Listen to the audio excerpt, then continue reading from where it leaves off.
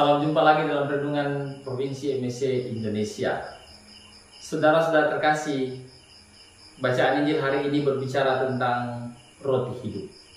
Yesus memperkenalkan dirinya sebagai roti hidup yang turun dari surga.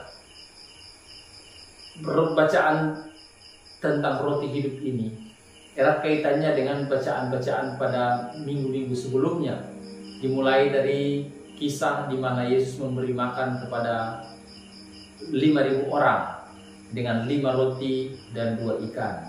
Sesudah itu, ketika orang banyak makan dari roti yang telah digandakan oleh Yesus itu, mereka mencari Yesus hendak mengangkat Yesus menjadi raja. Yesus melihat bahwa orang-orang ini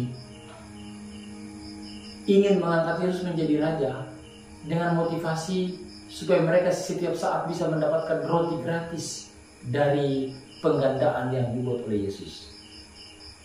Yesus melihat bahwa orang-orang ini berpikir tentang roti yang mereka makan sehari-hari. Itulah sebabnya Yesus mengajak orang-orang ini untuk melangkah lebih jauh, bergerak lebih dalam dari sekedar makanan sehari-hari.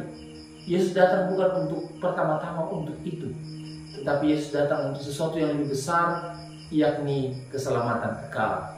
Karena itu maka Yesus mengatakan kepada mereka, Akulah roti hidup yang turun dari surga.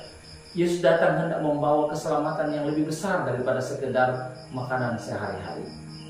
Saudara-saudara yang terkasih, kita baru saja selesai merayakan Paskah dan hari-hari ini kita masih dalam minggu ketiga dalam masa Paskah. Sesudah perayaan Paskah sudah lewat, apa yang masih tersisa?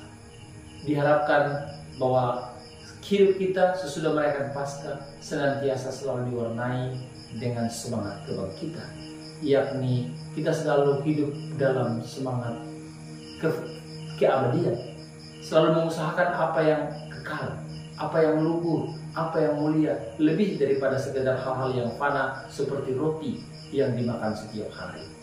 Tuhan Yesus mau supaya kita mengusahakan, memperjuangkan nilai-nilai luhur yakni keselamatan, Memang kita membutuhkan roti setiap hari sebagai makanan, tetapi janganlah itu menjadi tujuan hidup. Tujuan hidup kita adalah mencari keselamatan, dan keselamatan itu hanya mungkin ditemukan dalam persekutuan dengan Tuhan Yesus.